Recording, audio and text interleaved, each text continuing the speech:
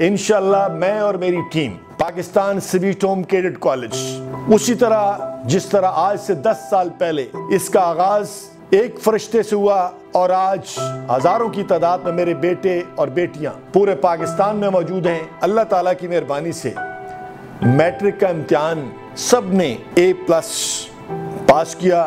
شکریہ ڈونرز، شکریہ ولنٹیئرز اور اب انشاءاللہ ہماری ٹیم نے یہ ڈیسائیڈ کیا ہے کہ دنیا کی تاریخ کا پہلا cadet college only for orphans اسی سال شہیدوں، غازیوں، دلیروں کی دھرتی گجر خان اور سواوا کے سنگم میں وادی راج اکبر۔ وہاں پہ ہم قائم کر رہے ہیں۔ میری آپ سے گزارش ہے، جتنے لوگ میری آواز سن رہے ہیں کہ ان فرشتوں تک جنہوں نے میٹرک میں امتیازی نمبر حاصل کیے ہیں، ان کو ہم تک پہنچانے میں میری مدد اور میری رہنمائی فرمائیں۔